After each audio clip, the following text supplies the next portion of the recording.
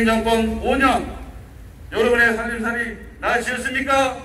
나아지셨습니까 여러분? 아닙니다. 대한민국은 분열과 불공정의 나라로 갈라지고 피폐해졌습니다. 문재인 정권 5년 동안 셀 수도 없는 경, 정책 실패로 국민은 실망하고 희망을 잃고 시름하고 있습니다.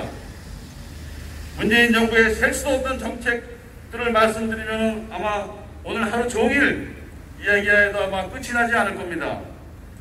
조국 법무, 전 법무장관 가족의 불공정, 자기들 기준의 검찰 개혁의 실패, 임대차 3법 등의 부동산 정책 실패 등으로 국민을 얼마나 힘들게 하였습니까? 또한 최저임금의 급격한 인상으로 우리 소상공인과 중소기업이 몰락하고 있습니다. 이른바 K-방역이라 선전하는 코로나19의 방역 절차도 방역 정책도 실패하여 지금 우왕좌왕하고 있습니다. 이렇게 이를 열거하기 조차 힘든 정책 실패를 문재인 정부는 5년 동안 하였습니다. 그 피해를 우리 국민은 우리 착하고 순진한 우리 국민은 오롯이 감내할 수밖에 없었습니다. 여러분. 그런데 그 정권을 이어받아서 더불어민주당 이재명 후보의 정책은 한술 겉도고 있습니다. 이재명 정책의 이재명 후보의 그 정계 정책은 포퓰리즘 여러분도 잘 아시듯이 포퓰리즘의 최고로 시작하고 있습니다.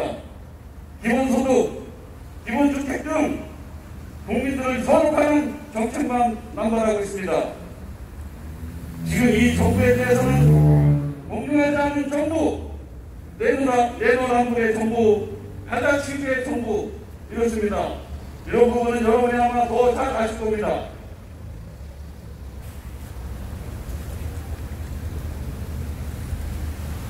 그래서 저는 오늘 현 정부의 정책 실패와 이재명 후보의 정책 중 정책, 경제 정책에 대해서만 말씀드리겠습니다.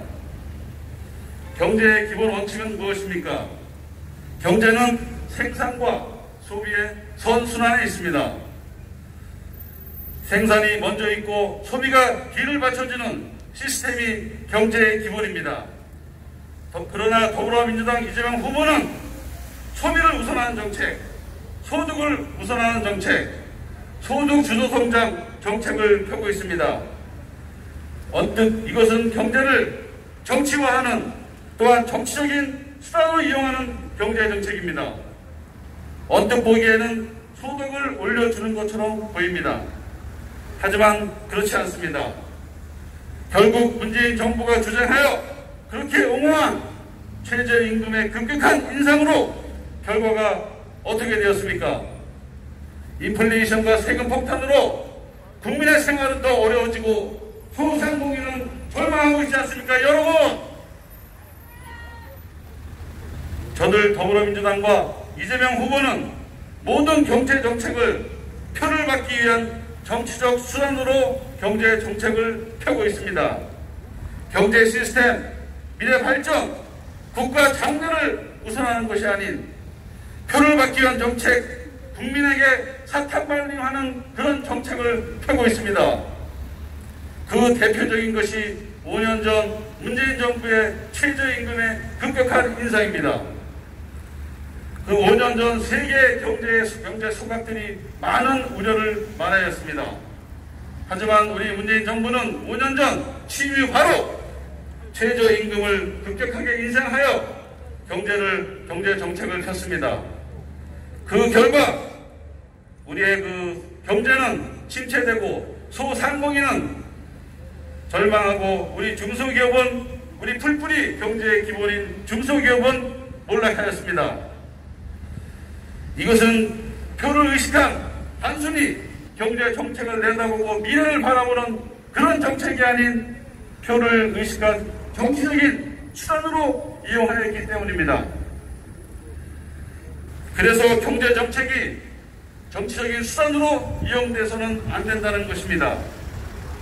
그렇지만 우리 윤석열 후보의 경제 정책은 생산과 성장의 소비를 촉진하는 그런 조석 위에 소득과 소비를 제- 하는 그런 제대로 된 경제 정책을 펴고 있습니다.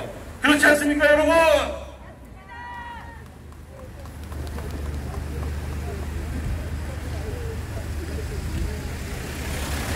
존경하는 부천 시민 여러분, 그리고 사랑하는 일정 면민 여러분, 이렇게 경제 정책을 표를 받기 위한 정치적인 수단으로 악용하는 저들에게 표를 주어야 합니까, 여러분? 안 됩니다. 절대로 안 됩니다. 경제의 경자도 모르는 저들에게 표를 준다면 대한민국의 경제는 아무런 길로 갈 수밖에 없습니다. 경제를 경제인에게 맡기고 자유 대한민국의 가치를 높일 수 있는 후보 바로 그 후보가 윤석열 후보입니다 여러분 그렇지 않습니까?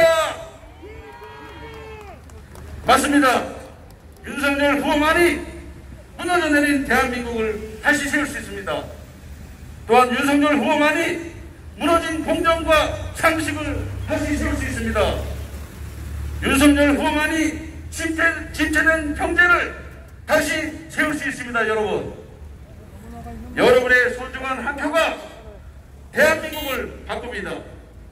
여러분의 그 소중한 한 표를 윤석열 후보에게 몰아주십시오, 여러분! 여러분, 그렇게 하실 거죠? 네, 여러분, 추운 날씨에도 불구하고 이렇게 나와서 선거운동을 하시고 대한민국의 올바른 가치를 세우기 위해서 힘써주시는 여러분께 깊이 감사드리면서 이렇게 오늘 말씀을 마치겠습니다. 감사합니다.